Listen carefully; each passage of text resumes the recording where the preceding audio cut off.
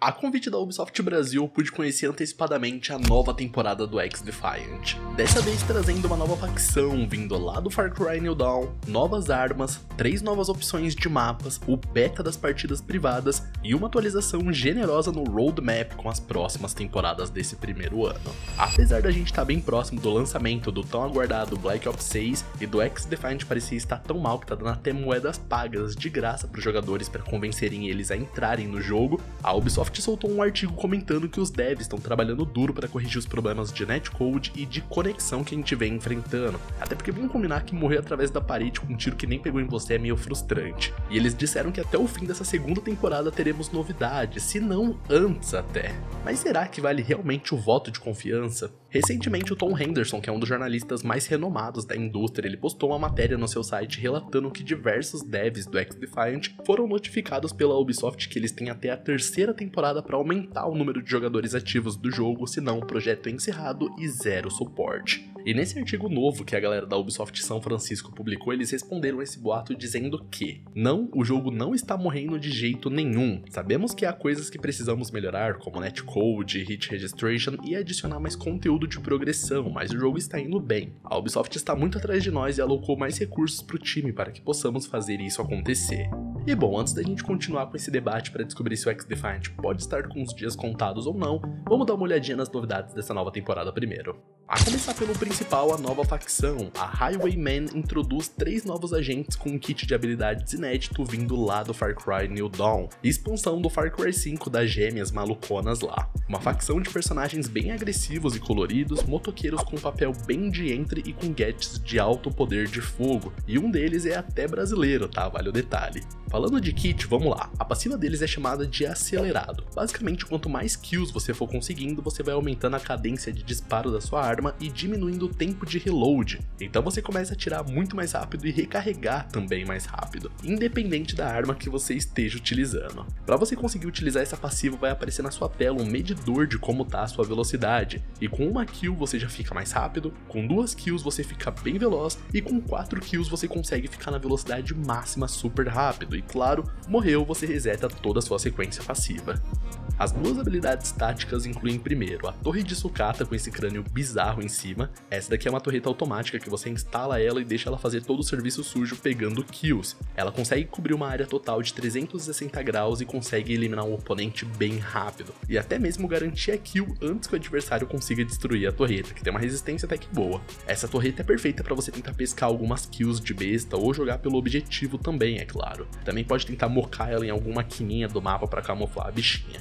A segunda tática é o lançador de granadas M79, que é capaz tanto de eliminar oponentes e destruir gadgets inimigos também, mano, olha só. Com o lançador você tem dois disparos disponíveis e depois de você utilizá-los ou trocar de arma, você entra em um tempo de cooldown ali, um tempo de espera de 30 segundos. O grande detalhe é que ela não funciona muito bem a longas distâncias, então você não vai conseguir só sair disparando para cima e seja o que Deus quiser. A curta distância ela causa o dano suficiente para eliminar, mas não explode diretamente. Ela só funciona a explosão explosão mesmo a médias distâncias.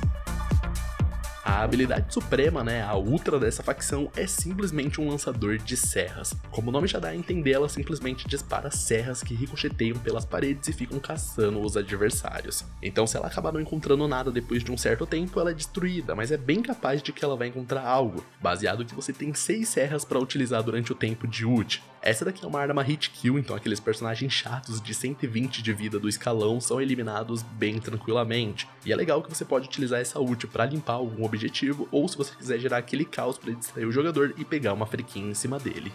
Passando para outra novidade, teremos três armas novas e todas elas estarão inclusas no novo passo de batalha. A primeira das armas é uma nova SMG, a PP-19, a clássica Bison que a gente tanto conhece de outros FPS, tá no X-Defiant. Essa daqui é uma submetralhadora voltada à mobilidade e dano, tanto que ela tem o maior dano e multiplicador de HS de todas as concorrentes dela. A PP-19 também possui um baixo padrão de recuo, quer dizer que ela lembra bastante a vibe de uma Assault Rifle, por exemplo, e o único contra dela parece ser o alcance mesmo, mas baseado na quantidade bizarra de attachments do X-Defiant é só encontrar a build certa e GG.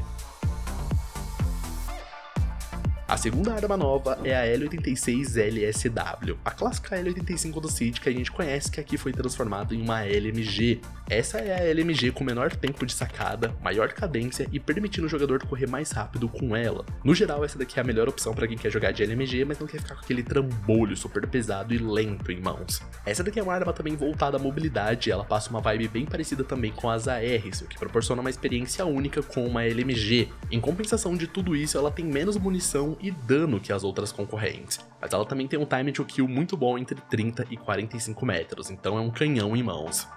E a terceira arma nova é uma nova opção de shotgun, no caso a semi-automática Spaz 12. De acordo com a Ubisoft, o balanceamento dessa arma está posicionado entre a A12 e a M870. Isso daqui nem precisa dizer, óbvio, que é uma opção perfeita para mapas pequenos e de close combat como Arena, HQ da Echelon e Showtime. E é insano que você pode colocar até um cano estendido aqui na arma para melhorar o alcance dela. Cara, é bizarro a customização e o nível de possibilidades que essa arma aqui permite. E nessa temporada também teremos uma nova opção de utilitário, com granadas de fumaça finalmente chegando. E como dito, assim como as armas novas, a granada de fumaça também vai estar disponível para ser obtida através do passo de batalha dessa segunda temporada. E como não pode faltar, aqui estão três mapas novos chegando ao game. No caso, a Ubisoft vai seguir aquele formato de liberar um mapa cada mês da temporada, e logo de cara o primeiro mapa que vai estar liberado no lançamento da season é o Waterfront. Esse daqui é um mapa do estilo arena bem fechado e caótico para modos como ocupação e maioral. Esse é um mapa de tamanho grande, bem colorido, perfeito para você jogar de sniper ou de DMR. Só que ao mesmo tempo ele possui várias brechinhas e becos para você marotar e conseguir encurtar o combate para SMG e escopetas. O mapa ele conta com um visual que inclui pista de skate, toda aquela vibe colorida, e é perfeito, claro, para você utilizar os gadgets da nova facção do Far Cry. Esse mapa ele tenta replicar bastante aquela vibe dos cenários do Far Cry New Dawn e eu acho que ele conseguiu. A segunda novidade vai ser Signal, que deve ser lançada no final de outubro dentro do jogo, tem até as cadeiras ali das irmãs gêmeas posicionadas no meio do mapa, e o terceiro mapa vai ser Where and Space, lançado no terceiro mês de season lá no finalzinho de novembro. Com isso, após esses três mapas sendo lançados, teremos um total de 20 mapas disponíveis dentro do X-Defiant.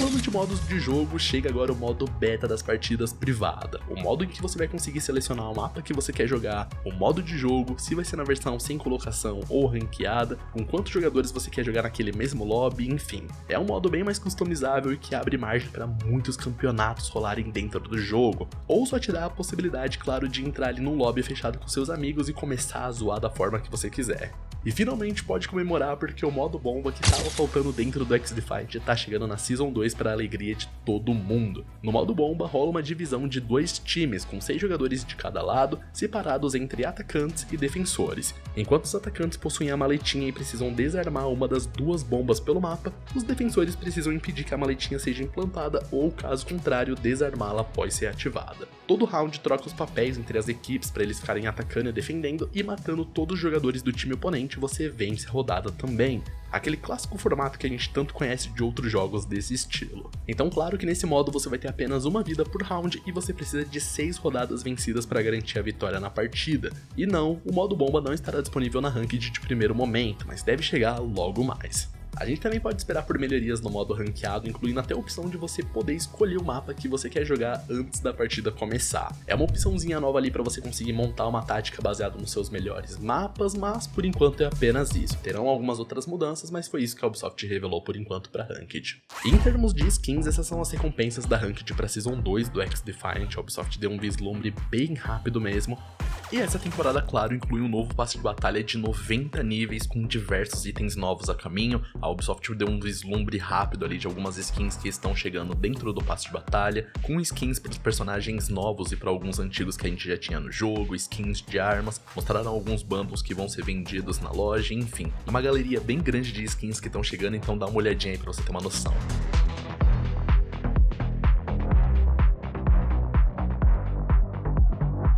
Além do mais, a Season 2 também vai contar com desafios de evento, o passo de batalha upa mais rápido agora, uma nova skin de maestria acima do nível 400 melhoria na jogabilidade e no áudio dos passos inimigos, tabela com os top 500 melhores jogadores e na metade da Season 2 vai entrar em vigor uma mudança na progressão de arma, onde você vai conseguir ganhar pontos para upar a sua arma jogando pelo objetivo daquele modo de jogo.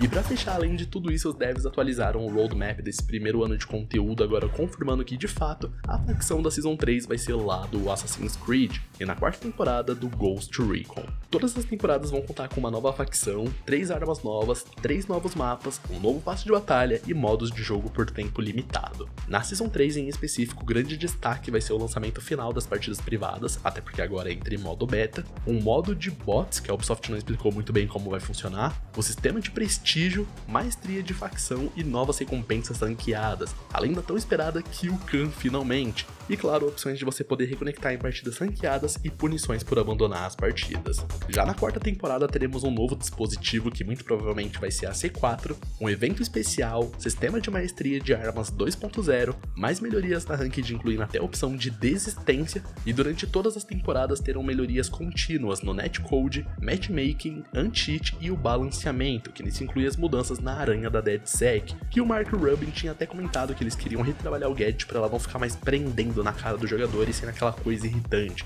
Parece que eles estão produzindo um outro protótipo, uma outra versão de como esse gadget pode funcionar bem menos frustrante. E é curioso, porque mesmo com os devs dizendo que tá tudo bem, que o jogo tá indo super bem e tudo mais, você repara que a Season 4 é a única que não teve grandes detalhes revelados, batendo com a matéria que o Tom Henderson postou e confirmando mais uma vez que eles devem estar tá com a estratégia de investir o máximo possível de recursos na Season 3 para reerguer o jogo. Até porque nessa Season 2 eu acho que eles já sabem que vai cair um pouquinho por causa do lançamento do BO6, e daí na Season 3, quando o hype do Black Ops 6 já tiver caído um pouquinho, eles lançam a temporada com a temática de uma das franquias mais importantes deles, no caso Assassin's Creed. Sendo bem sincero com vocês, eu não sei se isso daqui vai ser o suficiente, até porque eu acho que eles apresentaram pouquíssimo conteúdo para essa segunda temporada, e eles tinham que ter caprichado agora que o Black Ops 6 está chegando. Talvez dependendo de como for essa temporada, a galera pode não animar muito em retornar para Season 3. Eu só espero que o X-Defiant consiga melhorar e aumentar cada vez o número de jogadores ativos, porque é um jogo que eu curti demais. Foi um jogo que passou por anos de problemas técnicos e mais adiamentos, polêmicas envolvendo casos de assédio de crunch na equipe de desenvolvimento, e eles conseguiram mesmo assim estrear com 8 milhões de jogadores ativos já no primeiro mês de vida do jogo. A gente já viu com o Rainbow Six que o tempo consegue aperfeiçoar bastante um jogo, e no caso do X-Defiant o tempo vai ser vital para definir se o jogo vai se tornar o que os jogadores esperam que ele seja ou se ele vai ser arquivado. Particularmente, eu vou ter que ser sincero aqui com vocês e dizer que eu sempre achei que essa decisão de temporadas com 3 meses de vida útil foi um grande tiro no pé. Mas eu não acho que a Ubisoft vai cancelar esse jogo nem tão cedo, até porque esse é o grande rival do COD que a Ubisoft sempre quis ter e agora é real. A Activision lança novos CODs todos os anos com temáticas diferentes, e se a Ubisoft conseguir construir uma identidade fera pro X-Defiant, com o passar do tempo pode ser que eles criem um buy de FPS. Mas agora eu quero saber o que, que você acha. Será que a Ubisoft consegue reerguer esse jogo para ele ser um grande sucesso ou FX Defiant ele vai se juntar ali com o Twitter? Comenta aí abaixo a sua opinião e junto também o que, que você achou dessa segunda temporada de conteúdo. Muito obrigado a todos os nossos membros lindos aqui do YouTube pelo suporte incrível vídeo após vídeo e por continuarem acreditando no canal GC Gamer, cara, vocês são fera. No geral, eu espero de coração poder contar com a presença de vocês por aqui no meu próximo vídeo e até mais, galera. Fiquem com Deus.